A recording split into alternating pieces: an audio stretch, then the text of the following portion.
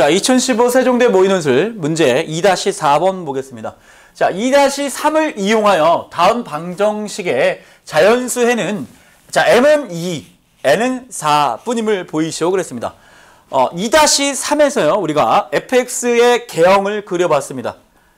자, 변곡점은 그냥 안 찍었습니다. 자, 2를 대비 2, 2분의 1이 극대, 극대였죠. 1,0이 어, 절편이었고요. x절편.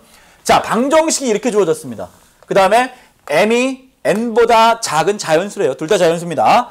자, 그러면요. x분의 lnx와 자, 요런 모양. 지금 요 모양이 뭐예요, 지금? 네모의 세모승 네모의 아니 세모의 네모승 자, 요런 형태.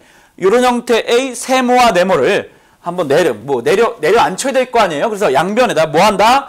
ln을 취해 보는 겁니다. 양변에 ln을 취해 보시면요. ln의 m의 n. 자, 여기다도 ln을 취하면 ln의 n의 m이죠. 그런데 이 진수의 지수 부분은 앞으로 나갈 수 있죠. m도 앞으로 나갈 수 있습니다. 여기서 끝이 아니라 양변을 자 자연수니까 mn 둘 다 자연수니까 충분히 mn으로 나눠줘도 문제 없습니다. 자 그러고 나니까 여기 지금 n이 약분되고 나면 얘가 바로 뭐예요? f f m입니다. 얘는 그 다음에 얘는 약분 자 m을 약분하고 나면 얘는 n분의 ln n이니까 f n입니다. 자, 그래서 자 여기까지 알아냈습니다. 자, 이게 무슨 뜻이에요? m하고 n이랑 다른데 물론 n이 n보다 더 커요. y값, f값이 같다 이거야. y값이. 그러면 자, 이게 fx 그래프에서 가로선, 즉 상수함수 아무거나 하나 그어 볼게요. 자, 얘를 내가 fm fn이라고 우깁니다.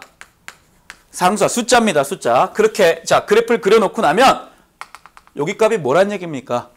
요 교점이 지금 봐. y값이 fm이니까 x값이 m이거나 n인데 m이 n보다 작으니까 m이겠죠. 그 다음에 여기는 뭐야 그러면? n보다 큰 어떤 x값 n이겠죠. 자 맞죠? 그래서 이 정도를 우리가 써놓은 다음에 그래프에서 이제 그래프에서 그래프를 그려놓고요. 자 그래프에서 그래프에서 m은 어떻게 됩니까? m 그 f m은 m은 자 이걸 써줘야 돼요. fm이랑 fn이랑 같다. 성립한다. 그 다음에 그래프에서 m이요. 마이너스 1부터, 아, 1부터 2 사이에 있죠? 자, 그래프에서. 자, 이거인 m이, 자연수 m은, 자연수 m은 뭐밖에 없습니까? 자, 2는요. 2.718. 자, 2.7 정도 되는데 1보다 크대요. 자, m은, 자연수 m은 2밖에 없다. 자, 또한 또한 이 n 값은요. 2보다 큰데 2보다 큰데 자, 2보다 큰 값은 여러분들이 찾아봐도 되고요. 이미 4라고 주어져 있으니까 의도적으로 문제에서 맞춰 가야 되겠죠. 그래서 자, f2 값이 몇인데요? f2 값. f2 값은요. 2분의 2분의 ln 2 값인데 자, 분모 문제다 우리가 2를 자, 여기 지금 수, 사실 요 진수 부분하고 요 밑에 분모가 같은 상황이잖아요.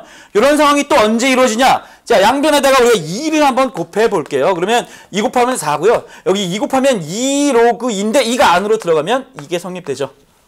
자, 얘는 어떻게 쓸 수 있습니까? 얘는 또요. F4라고 쓸 수 있어요. 알겠죠? 자, 이거이므로 또한 이거이므로 이거이므로 n은 뭐가 된다? n은 n은 자, 2보다 큰 이거인 자연수 n은 자연수 n은 뭐다? n은 4밖에 없다 이거. 알겠죠? 4밖에 없다. 알겠죠? 4밖에 없다. 자, 요 정도 쓰시면 이제 이 문제에 대한 증명이 되는데 자, 주의할 점은 그래프를 꼭 그려 주셔야 되고요. 그다음에 요식에 대한 변형의 결과를 꼭 써 주셔야 됩니다. n분의 lnm, n분의 lnn. 자, 그다음에 m의 범위도 꼭 써주시고 자연세음이 2밖에 없다는 거 보여주시고 이 뒷부분은 좀 어, 이렇게 자세히 안 쓰셔도 되지만 이 앞에 부분까지는 명확하게 꼭 쓰셔야 됩니다. 이게 증명이기 때문에